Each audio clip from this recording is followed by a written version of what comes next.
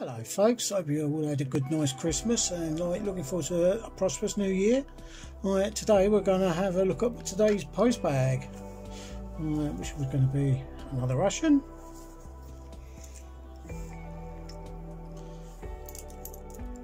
An Oskar-Emil, 3000.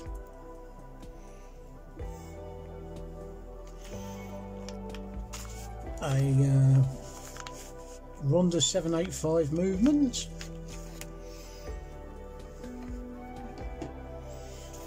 And set British Army leather gloves. Oh yeah.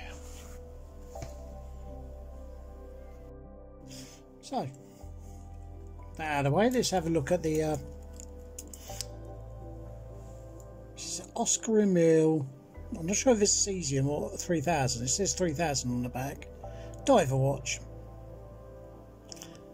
Titanium case and bracelet very, very nice. The only thing I'm really, really peeved about on this light is they've stuck a really crappy Miyota movement in it. Whereas the other Oskar-Emil, um, the Houston, has got like, you know, possibly the best chronograph movement that Miyota make. So what the heck, like Oskar-Emil, like, you know, it's a bit naughty. Uh, slide that on there.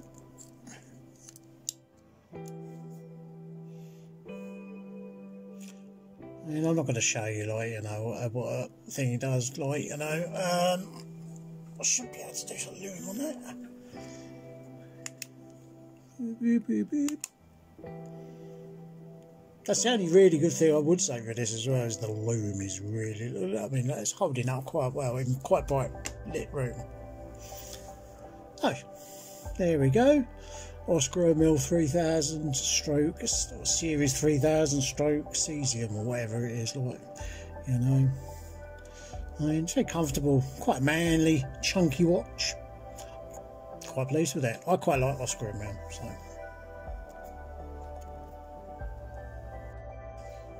Okay, here we have Komandirskie.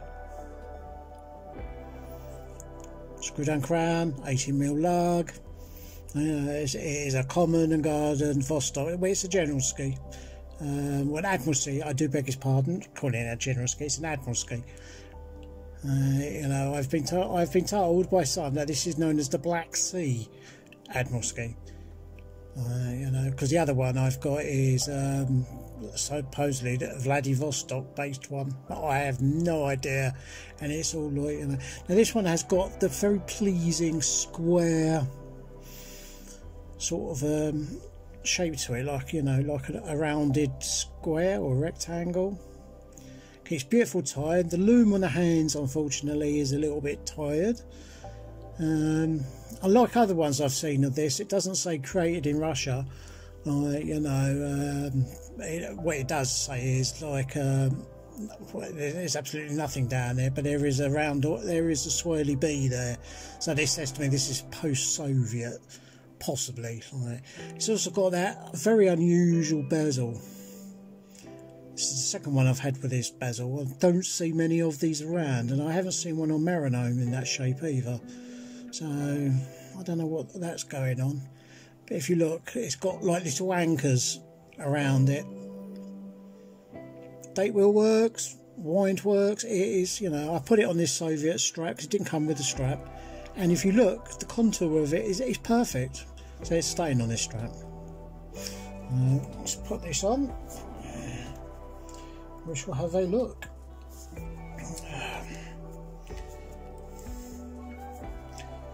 Da, da, da, there you go.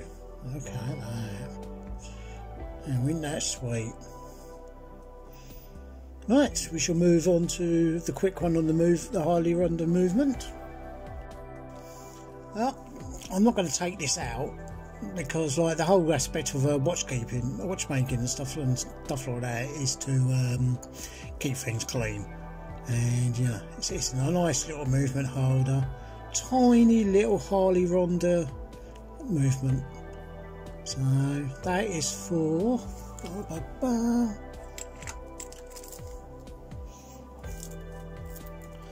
It'll be going back into here, which is a very, very heavy rose gold.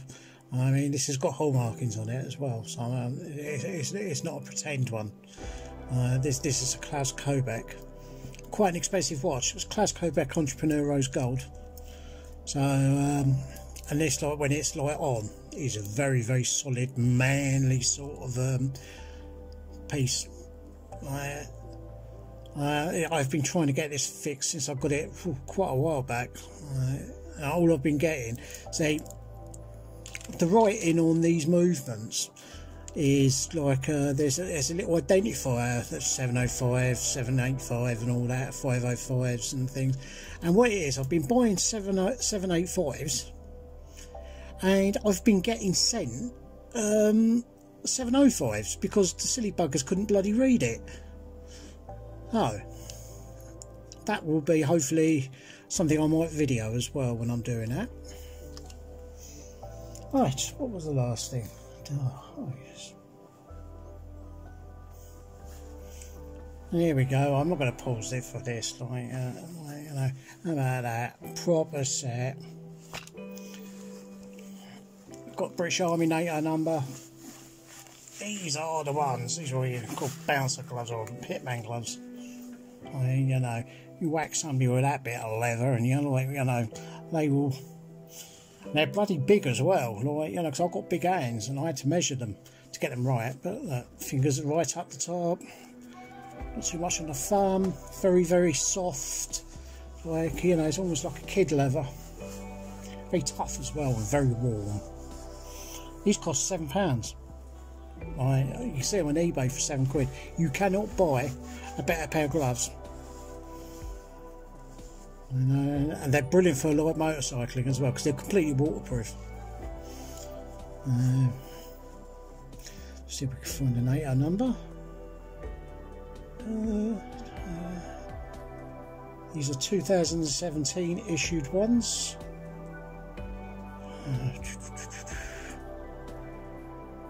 Uh, just uh, type 2 combat gloves. And there's the NATO number at the bottom there. Across there. A bit hard to see, like, you know. Anyway, what we'll do is we will go back up top and we'll have a little, have a little um, reflection on everything else. The final thing I was going to mention, like, uh, was.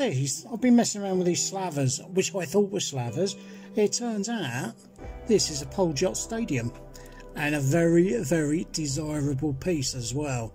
Now I've got to try and find a crystal for that because that's one of the things that's wrong. And of course, I'm trying to put Slava because it says on the back of the movement 2628, which is the same as the ones you see in that one. That's just a 2628, and of course, it wouldn't fit. I'm thinking to myself, oh, what's going on here, like, you know? And of course, like this is a Poljot 2628, which is not a Slava 2628. Um, been working on this one. I'm hoping that my, the movement for this one turns up this week. I'm looking forward to that one because that's that's the Slava TV. I I think they're a rip off of the Seiko TV because there's a Seiko TV look, looks very very similar to that. This one is going to go for a Bathurst and naphtha, see if it frees everything up. That's a more modern Slava, that is. Well, that's in very good condition, that is, for what it is it just doesn't work. Um, I have found out that Slavas can be very weak. Um, you know, this one here is the automatic, and uh, it's very unusual because a lot, of people have said to me they haven't seen one of these before. It's got a cracked glass, and the other night, uh, I think it was Christmas Eve, it started running for about an hour, and then it just stopped again, and it hasn't worked since. So, but when you like uh, oscillate it, the second hand twitches. So I think it's got um, a gummed up cannon pin in. This one, I just I've got a glass coming for. I'm not going to bother with a second hand for it. It looks good enough. I, you know, and I, I like that because that's like a dark burgundy over a light burgundy. Uh, you know, it's very, very striking watch. That is very clean. I'm looking forward to wearing that one. Uh, and I mean, that's in the case. That's in uh, what I call highball case, which is a bit higher than the Slava AU10 which I got recently.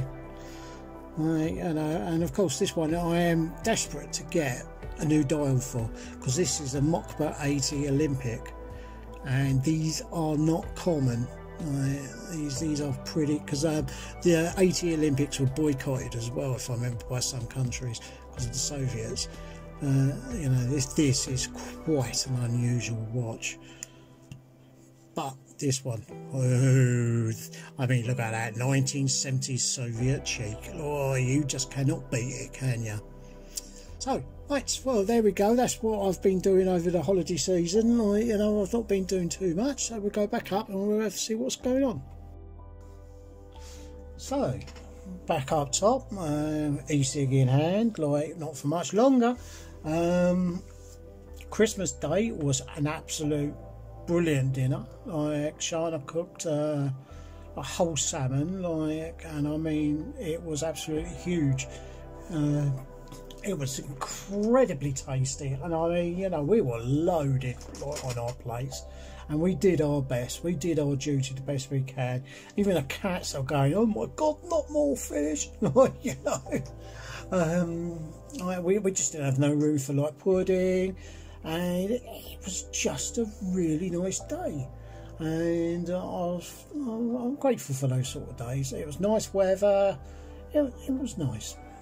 So I hope you all had a good Christmas day, like, you know, I mean, um, seeing family tomorrow, I've been on the phone with Steph, it turns out my granddaughter had a very good day, uh, that's good news as well.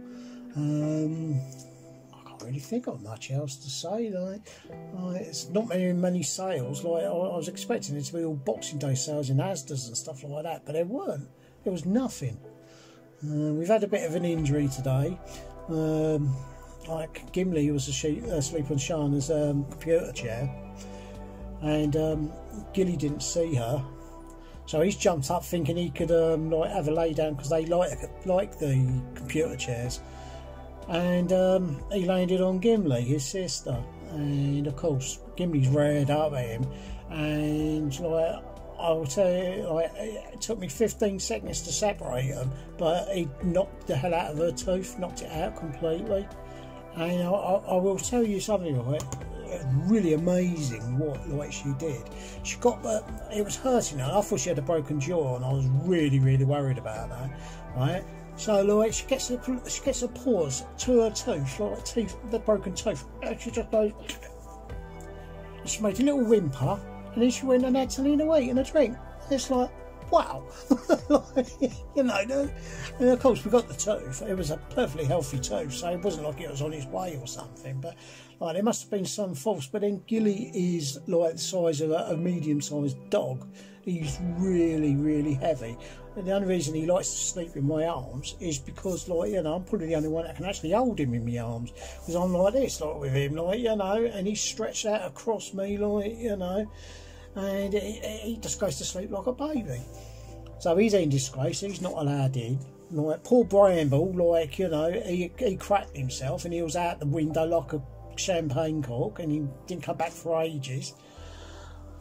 Uh, poor Squidge was in here in a little box, like shaking, like it wasn't very good. And like you know, Gilly has been like you know chastised quite heavily for it. And I, you know, I did say to Shana, like you know, if he had actually like done some really bad damage to Gimli, like you know, would have had to consider perhaps like you know either rehoming him or um, something else. I, you know, because we can't have that. You know, I know it was perhaps a mistake and all the rest of it, but this is not the first time they've been they've been fighting. You know, sibling rivalry. It goes on, we know that, but today was more of an accident than um, an intentional thing. Right, so um, we'll see how things go. He's done what he's done. He knows what he's done. He knows he's in trouble. Right, you know, so we will take it from there. I don't want to start the new year losing a cat, another cat. Like, know, I could do without that. But you know, like Gimli such a sweet little thing, and like for her to get bashed up like that was just not on. Right, so I'm going to wish you all a happy new year. Sorry if I've missed anybody on the phone and stuff like that um, the last few days. I am about. It's just that sometimes my phone, when I'm in the flat, it doesn't pick a signal up, and you know it's a bit of a noise. Um, like if I'm on the phone at staff, like you know, it goes straight to the voice box, which I can't access because I don't know what the pin is because I forgot because my feeble brain. Um, uh, I mean, you know, it's, it's, it's not. I mean, you know, next year is going to be the same as this year, really. Probably the move to Scotland will change things, but we shall see. Uh, you know, my eighth year of e-cigging comes to an end and you know, and I'm even thinking of letting go the Royal Art Reliant. So we shall see where that one goes as well. Right, Happy New Year and all that, and catch you in the next one. Bye.